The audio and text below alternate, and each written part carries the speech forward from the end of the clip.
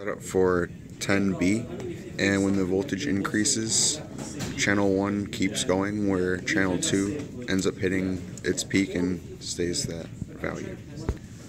Where channel 2 is the output when channel 1 is the input.